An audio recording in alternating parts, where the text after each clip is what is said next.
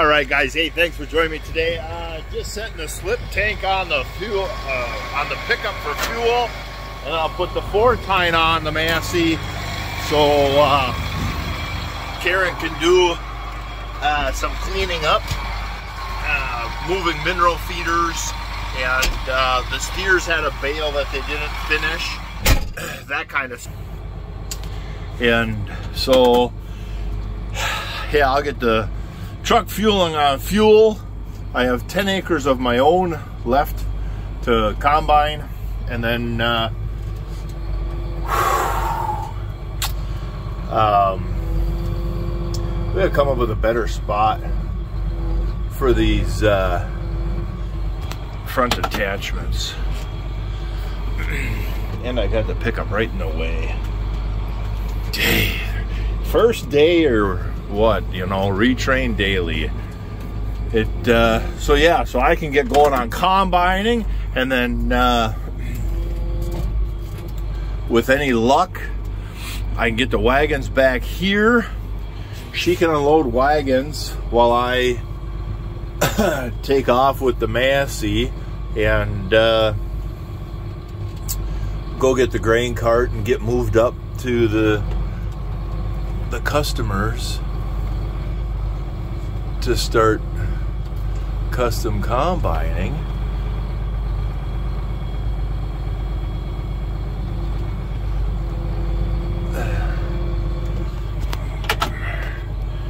I got him. I don't know if you can see it on camera, but uh, there we got our four tine, and I heard it snap. Um, so on this on this Massey loader, it's kind of neat. There are these Quickie brand loaders. Uh, when you go to hook up to the implement, you dump it all the way, and when it's down low, that makes the tool carrier upside down. So where you see that yellow paint on top, that bracket's hanging down below, and then the, I can just look down the side of the tractor for that yellow strip, put it in the hole, and uh, and I got it.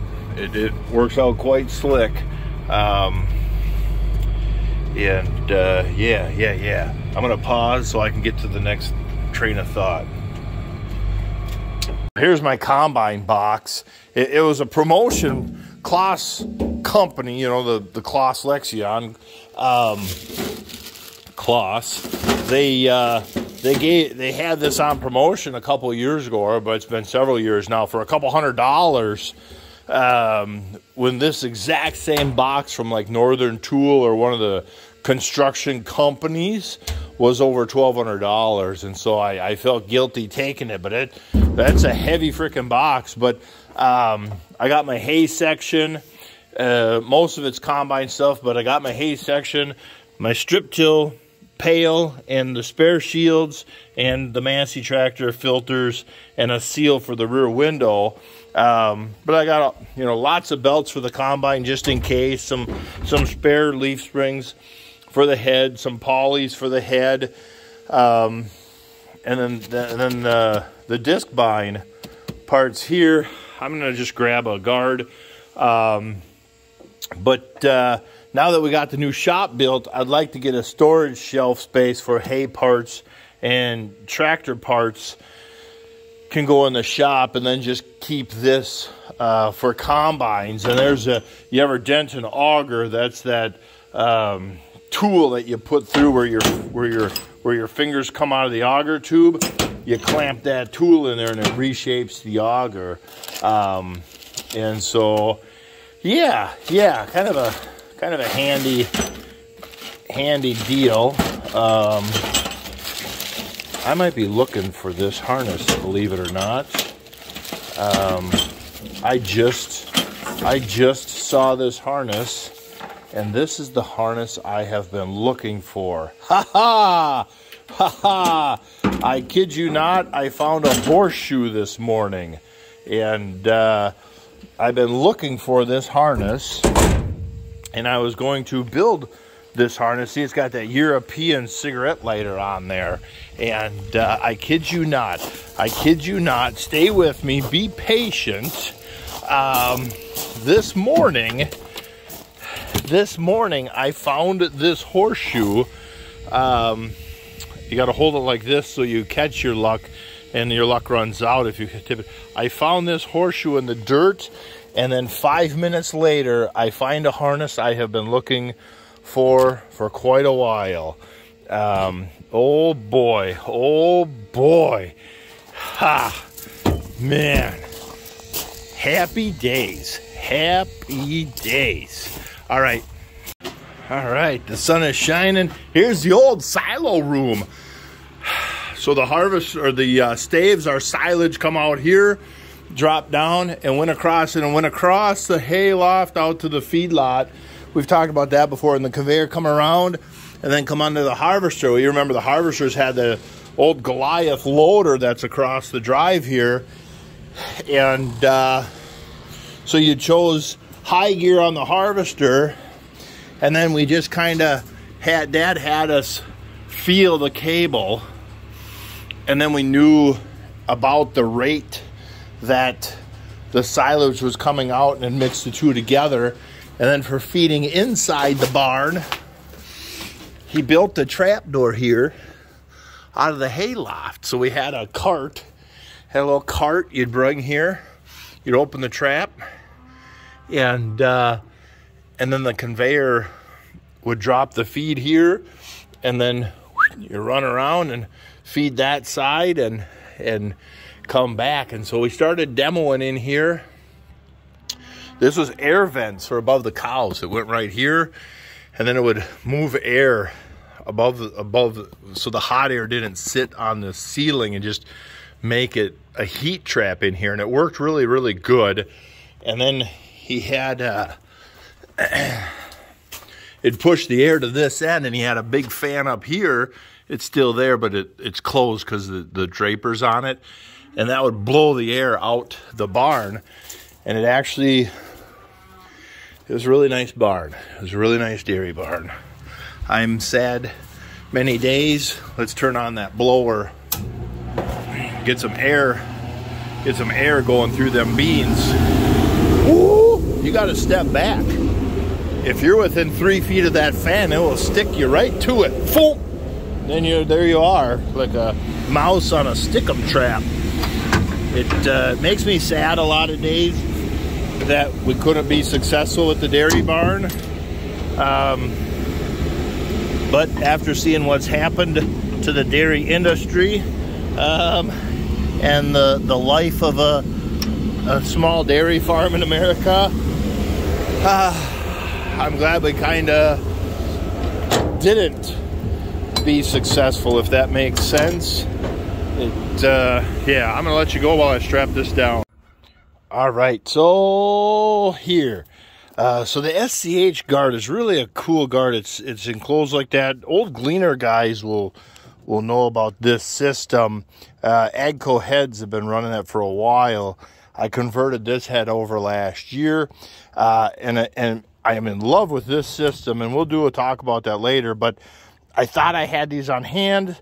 Turns out I didn't. So I'm going to see if a cloth guard will work for right now, and uh, and and so let's. We'll, I'll just run the head in hydraulic reverse, so it goes super slow, and then we can see. Let's lower our our uh, safety stops and get going. Uh, with the rain, I had the grain tank closed down. Dun, dun, dun, dun. Gong, gong, gong, gong, gong, gong, gong, gong. See, I can sing it, then I don't get a copyright strike. so let's hit reverse and we're watching. The nice thing in reverse, the cutter bar will stall. I don't know if you can see that. So the knife snagged over there. So we might have to investigate why that is. I can't see any reason why it would have. But when I reverse the header, you're going backwards through the belt tightener so if something's not right on your cutter bar, it just stops the cutter bar instead of hitting power and uh, hitting full power and then just tearing up a knife section or a guard. So let's go see if maybe there's a nick in a knife and the knife is catching the, the guard. Sure enough, the damage of the knife here was enough so the knife is bent and twisted that it snags the top of the guard here. So we'll just replace him quick and uh, get on our way, huh? All right, again in reverse. Oh, joop, There we go. There we go. Let's turn on that separator and go look at that cleaning fan.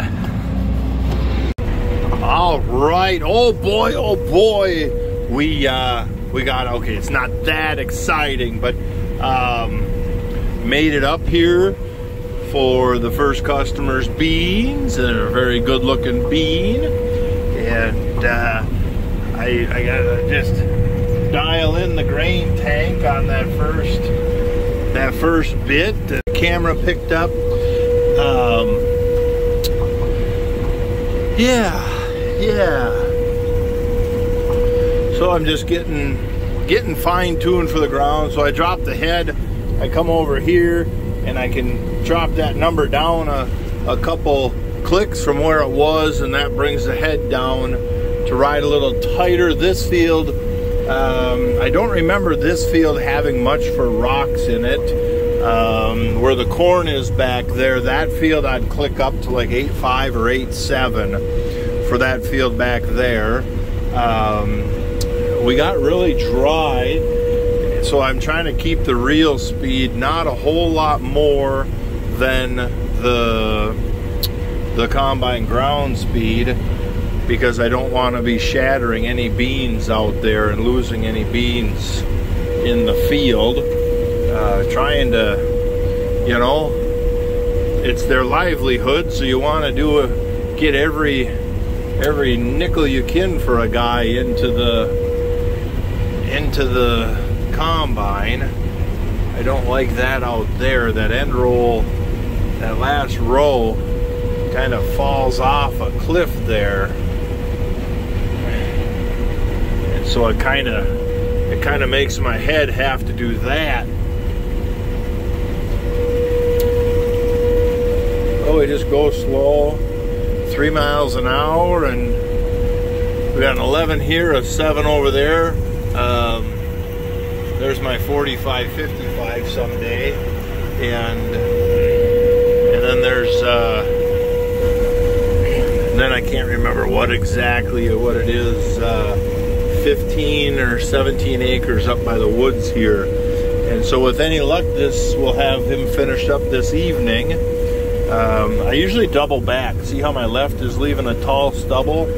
So on this field, anytime he's got beans, I usually got to double back and hang out five or six rows and uh, kind of go over that spot there again just to see if uh,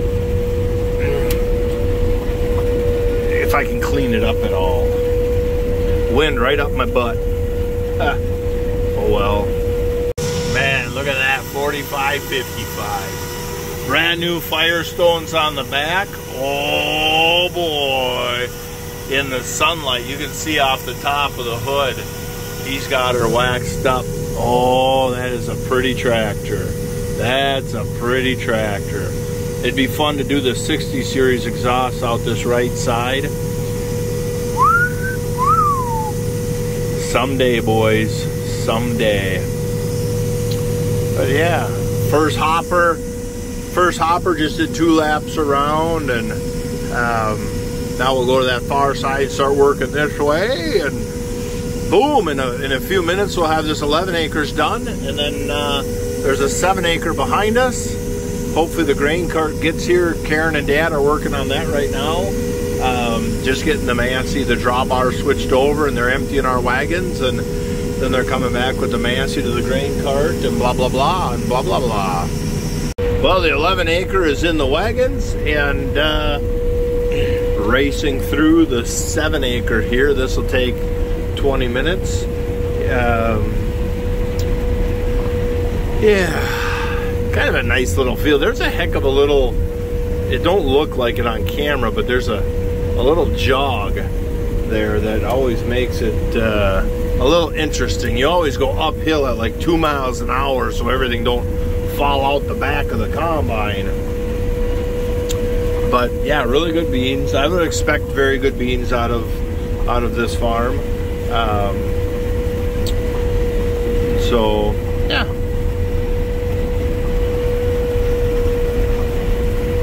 He's got some pretty woods there. He he gives rides in the summertime to folks and tours through the woods and uh, they usually they used to always do a hay ride in the fall and uh, kind of a fun little deal but yeah I don't know all right good morning how about that good morning uh, there's a little bit of toughness underneath the canopy you get a little growl in the combine. So I'm going to clean off this knob behind me. The Massey's behind the knob right there. And uh, so hopefully by the time I get this little chunk cleaned up and make my way back to the Massey, he should be pulling in. Hopefully I can get that done before he comes back, but otherwise he'll just be patient. Let me drive over there. Um, and then we'll just clean up these couple acres over here. And uh, yeah, yeah. Then we're done with done with this customer. Done with this customer.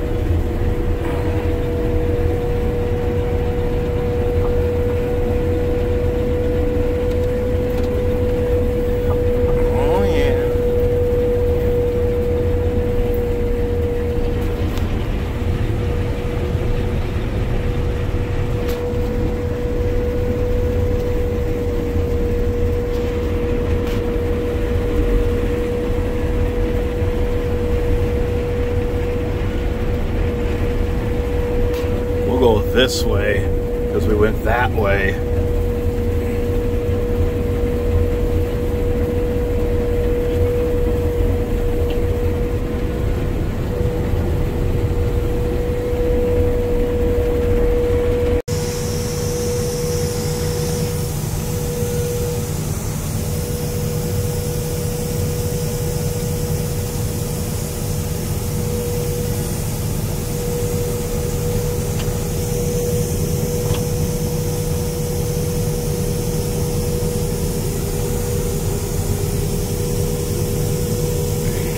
trying to work myself a little closer.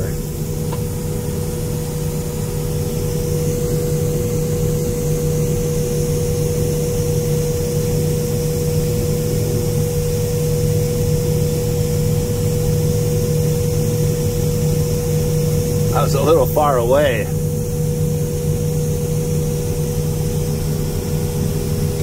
Now I got close enough that my marker light hit the tire for Pete's sakes, who's, you know, uh, it's hard to find good help, ain't it? Well, there we go. The cart isn't full, but, uh, whew, that should be more than enough for his wagon. So let's move the Massey to the hill. All right, here. Oof. Uh-oh, Karen. Karen was in here last. Let's hope the seat, she's a couple pounds lighter so the seat just hits the floor as soon as I get in here. It's got the automatic seat height.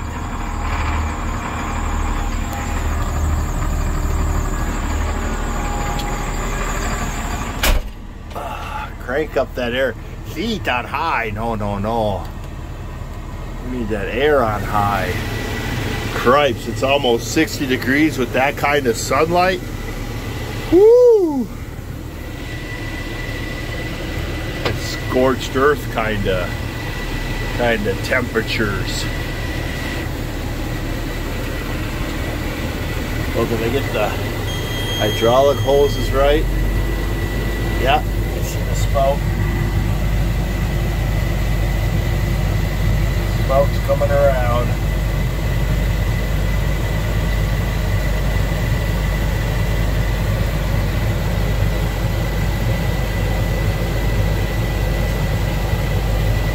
That's there. Let's select a thousand PTO. Give it a bump. There'll be just a little bit of my soybeans left in the auger and uh, PTO works fine. Oh, you shut him off. Let's uh,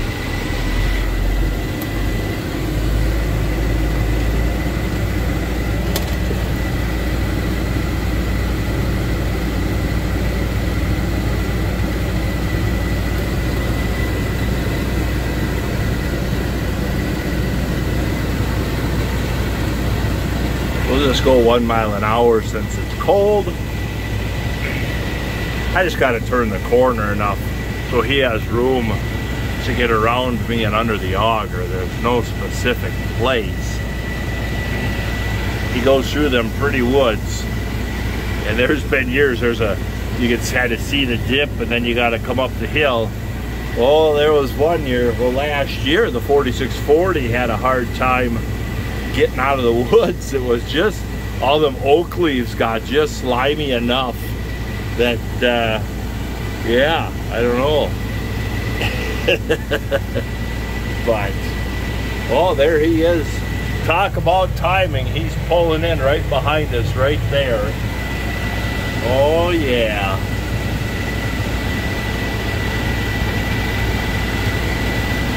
I'll just straighten up and well starting a new customer and uh, the next field um, these are drilled beans. Now, the nice thing about doing this custom work is you get to see all the different hybrids, planting dates, planting depth, fertility programs, tillage programs, row spacing, and uh, usually at the end of the year, there's no major winner other than uh, luck of hybrid selection and field you know, on a dry year, a wet field wins it kind of deal. But I sure like combining drilled beans better than row crop beans. It, uh, yeah. This is good looking field. This is a real good looking field. Well, take 15 minutes with the blowgun and uh, get the combine cleaned off. And then I make sure to Shut the battery disconnect off in case a mouse gets onto a main harness somewhere. A pretty good start across this field. Um, it's Sunday evening, so I think right before the sun sets, I'm going to get home and uh, have some steaks and just have a nice evening with the wife. And tomorrow's Monday, so the work week starts all over again. Yeah, good hard frost again last night. Got a service call this morning to see if I can't get a guy's chore tractor running and then maybe by mid-morning that frost will be cooked off the beans and uh, get back to soybean harvest. And so, yeah, been going good. I'm gonna just thank you guys for watching this video and then uh, if anything exciting happens at the rest of the soybean harvest I'll catch a video make another video. Otherwise that was uh, our soybean harvest for the custom soybean harvest for the season